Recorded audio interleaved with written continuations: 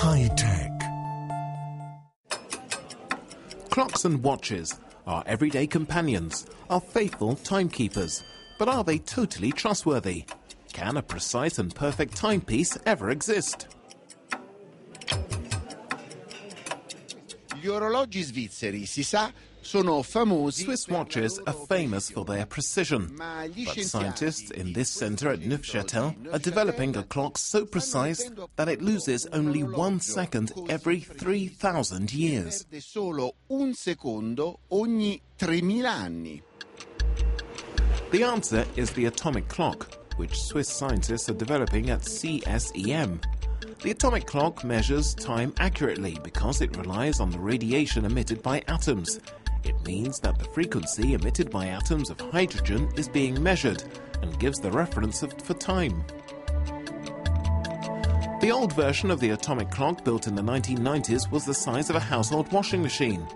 But CSEM scientists in this building, which is the old astronomical observatory of Neuchâtel, are working towards the progressive miniaturization of the atomic clock. Their goal is to reduce it to the size of a sugar cube.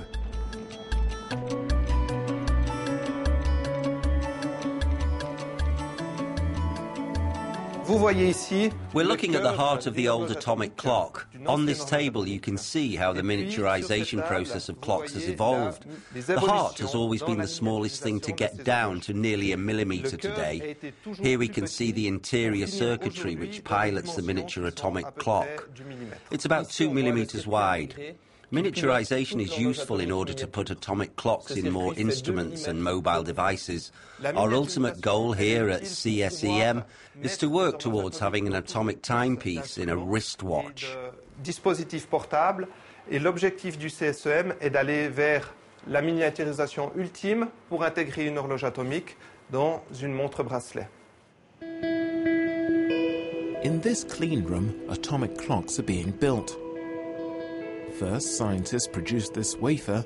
On each one, there's the heart of 3,000 atomic clocks. Scientists not only hope to install atomic clocks in consumer electronic devices, but they also want to use them for scientific purposes, such as verifying Einstein's theory of relativity.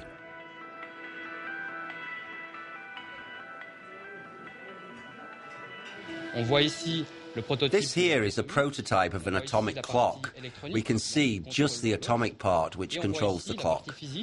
This here is the physical part with an atomic cell on its back which contains the atoms and which measures 4 millimeters across. If we were to put an atomic clock in a smartphone with a GPS, for example, then we'd have a frequency base in the GPS which would allow a faster synchronization with geo-positioning satellites and therefore a more efficient device.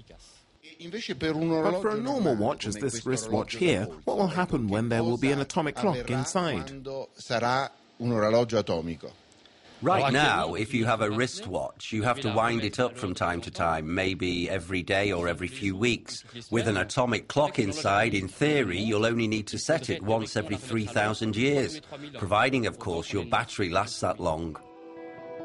Today, the best atomic clocks are able to keep time to the point where they will gain or lose one second every one billion years. And they're powered by this extremely little engine. The minuscule part, only a millimeter across, holds the key to a future in which clocks will always be running on time.